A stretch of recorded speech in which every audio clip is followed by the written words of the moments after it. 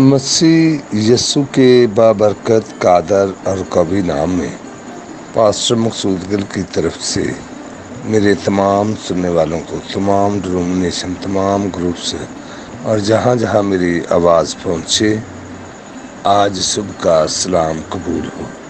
मेरे अजीज़ों, मैं रोज़ाना की तरह खुदा के मुकदस पाक कलामे से तलावत करूँगा और आपके लिए दुआ करूँगा। आज आइए हम देखते हैं और बात करते हैं यीशु की मौत के बारे में, गवाहों ने अतला दी आइए खुदा के ज़िंदगी बस कलाम में से मैं तलावत करना चाहूँगा। यहुना रसूल की मार्फत लिखी गई अंजीर 19 बाब और उसकी बत्तीस से सैंतीस आज तक पढ़ूँगा। खुदा की कलाम में यूँ लिखा है पास सिपाहियों ने आकर पहले और दूसरे शख्स की टांगें तोड़ी, जो उसके साथ मसलूब हुए थे। लेकिन जब उन्होंने यीशु के पास आकर देखा कि वो मार चुका है तो उसकी टांगे ना तोड़ी, मगर उनमें से एक सिपाही ने भाले से उसकी पसली छेदी और फिलफोर उससे खून और पानी बह निकला। जिसने ये देखा है, उसी ने गवाही दी है और उसकी गवाही सच्ची है और वो जानता है कि सच कहता है, ताकि तुम भी ईमान लाओ।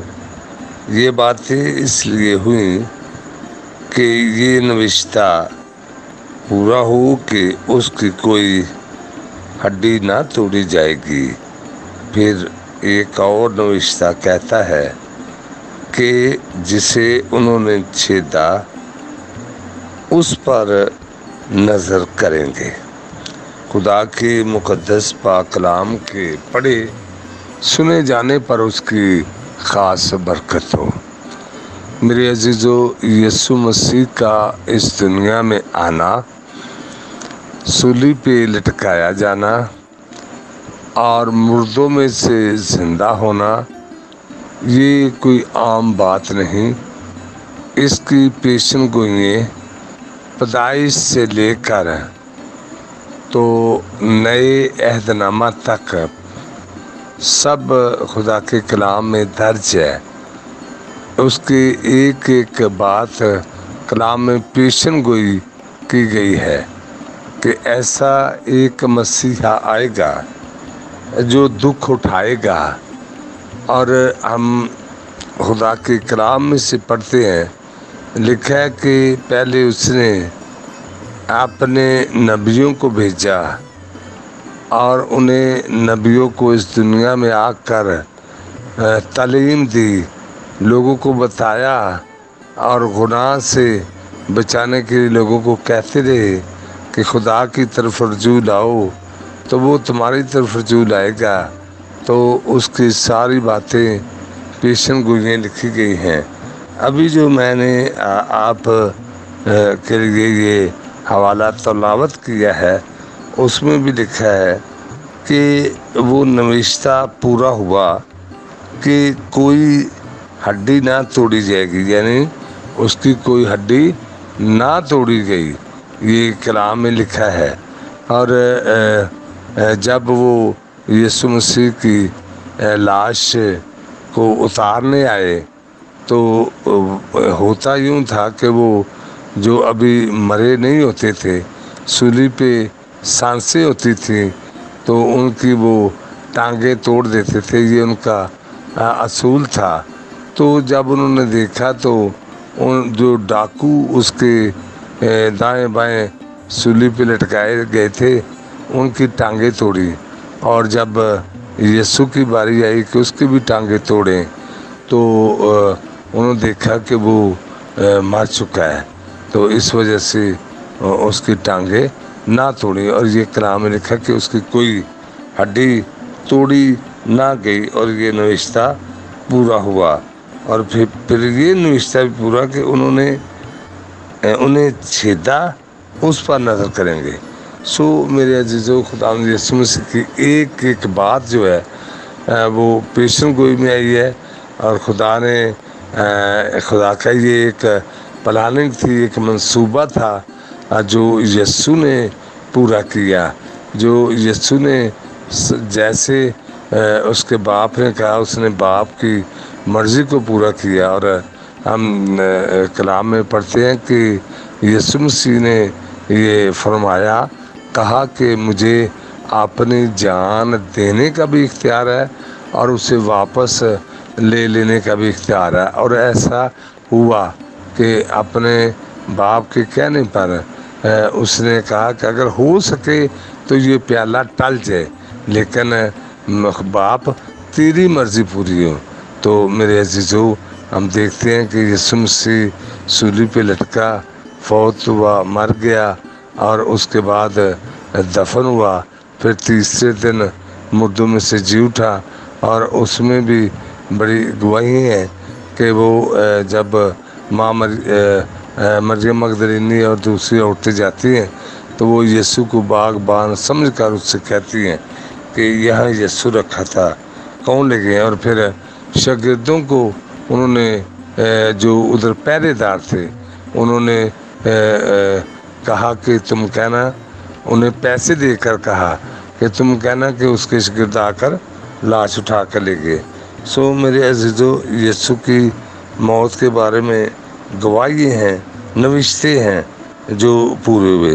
तो आइए मैं ए, ए, ए, और थोड़ा तलावत करूँगा। बत्ती रसूल की अंजीर में से उसका सताईस बाप है और उसकी पैंतालीस आयत में लिखा है और दोपहर से लेकर तीसरे पहर तक तमाम मुल्क में अंधेरा छाया रहा। यस्सु ने फिर बड़ी आवाज़ से चला कर जान दे दी और मकदस का पर्दा ऊपर से नीचे तक फट कर दो टुकड़े हो गया और ज़मीन लर्जी और चट्टाने तिड़क गईं, पास सूबेदार। और जो उसके साथ यीशु की निगहबानी करते थे, भुंचाल और तमाम माजरा देखकर बहुत ही डर कर कहने लगे कि बेशक ये खुदा का बेटा था। मेरे चीज़ों, आज भी अगर हम इस दुनिया में बात करते हैं तो बहुत से लोग, या गैर अकवाम के लोग वो ये बात नहीं मानते कि वो खुदा का बेटा है। लेकिन हम कलाम मुक़दस पर ईमान रखने वाले हैं, कलाम मुक़दस को मानने वाले हैं। जब कलाम मुक़दस में ये बात लिखी गई है कि वो खुदा का बेटा है, अब देखो, ये बंदा गवाही दे रहा है। ये सूबेदार इस बात की गवाही दे रहा है कि वो बेशक वो खुदा का बेटा है। तो इन गवाहियों से हम जान सकते हैं कि वाकई जो कुछ यसु मसीह की ज़िंदगी में हुआ है, वो सच है और कलाम मुक़दस में ये सारी बात लिखी गई है। अगर हम मरकज़ पंद्रह बाब में सताईस अठाईस आयत पढ़ूँ तो वहाँ लिखा है, और उन्होंने उसके साथ दो डाकू, एक उसकी दहनी और एक उसकी बाई तरफ़ मसलूब किए। तब इस मजमून का वो नविश्ता कि वो बदकारों में गिना गया, पूरा हुआ। मेरे चीज़ों ये कलाम में लिखा है कि वो बदकारों में गिना गया। हालाँकि यीशु मसीह पर तो कोई गुनाह साबित कर ही नहीं सका। और ना उसने गुनाह किया। इंसान बनकर भी वो बिल्कुल बेगुनाह साबित हुआ और कोई साबित गुनाह, उस पर गुनाह साबित ना कर सका। और मेरे अजीज़ों, देखते हैं कि यह जब उसे लटकाया गया तो वो बदकारों के बीच में लटकाया गया और एक डाकू कहता है कि अगर तू इतने मोजे करने वाला है, सब कुछ है, वो दूसरे से कहता है, किसी को ये खुद भी बचे हमें भी बचाए। तो दूसरा उसे झिड़कर कहता है कहता है, बात सुन, हमें तो हमारे किए की सज़ा मिल रही है। हमने तो हम तो गुनागार हैं, हम तो डाकू हैं, हमें तो ये सज़ा मिल रही है, लेकिन इसने कौन सा गुनाह किया है? तो वो उसे डाकू यीशु से बात करता है, कहता है कि जब तू अपनी बादशाही में आए तो मुझे याद रखना। तो यीशु ने उसे कहा कि तू आज ही मेरे साथ फरदौस में होगा। देखिए इतने कर्ब की हालत में, इतने मौत की हालत में उसने उस डाकू को बचाया, क्योंकि वो मालिक है। और हमने कलाम में पढ़ा है कि खुदा ने उससे कहा, जब यीशु ने अपने बाप की वफादारी की है। उसने कहा, जिसने बेटे को देखा, उसने बाप को देखा। तो जब शिगिर्दों ने कहा ना, हमें बाप को दिखा। तो उसने कहा कि, जिसने मुझे देखा, उसने बाप को देखा। तो हम देखते हैं कि जब उसने डाकू ने कहा तो उसने कहा कि, तू आज ही मेरे साथ फरदौस में होगा। इस बात पर भी लोग बड़े इतराज़ करते हैं, क्योंकि वो मालिक है। और आसमान और ज़मीन का कुल इख्तियार उसे दिया गया और वो ज़िंदा होकर वो आसमान पे बाप के दैन बैठा और वहाँ से दोबारा फिर आने वाला है जिसे हम सेकंड कमिंग कहते हैं। वो आने वाला है और अब हमें उसके आने से पहले वो, वो आ जाए तो हम तैयारी ना हो हमारी। हमें तैयार होना है हमें उसकी बादशाही में दाखिल होना है। हमें तैयारी करनी है कि जब वो आए तो हम बादलों पर उड़कर उसके इस्तकबाल कर सके। तो इन गवाहियों से, इन बातों से ये बात पूरी होती है, सारे नविश्ते पूरे होते हैं। ये मसीह आया ही हमारी खातर है और उसने हमारे गुनाहों का बोझ उठाया। हमें ज़िंदगी दी, उसने कहा कि जो कोई मुझ पर ईमान लाए, वो हलाक ना हो, बल्कि हमेशा की ज़िंदगी पाए मेरे अजीज़ो, आज के कलाम के वसीला से खुदा आपको बड़ी बरकत दे। खुदा आपके साथ आइए। मैं आपके लिए दुआ करता हूँ। आसमान और ज़मीन के बनाने वाले कुल कायनात के खालिक और मालिक मसीह यसु में मेरे आसमानी बाप बड़ी आजजी खाकसारी से तेरे कदमों में सजदा रेज हूँ। दिल की गहराइयों से तेरा शुक्र अदा करता हूँ। तेरी दी हुई नियमतों के लिए, बरकतों के लिए, बख्शों के लिए, ज़िंदगी के लिए, तंदरुस्ती के लिए तू है। तेरी शफकत अब्दी है, तेरी वफादारी पूछ दर पूछता है, मेरे खुदा। मैं मिन्नत करता हूँ। और जिन लोगों के जो लोग खुदा से दूर हैं, वो यस्सु पर ईमान ला कर वो हमेशा की ज़िंदगी हासिल करे, जो जिसका वादा उसने किया है कि मैं तुम्हें वो हमेशा की ज़िंदगी दूँगा।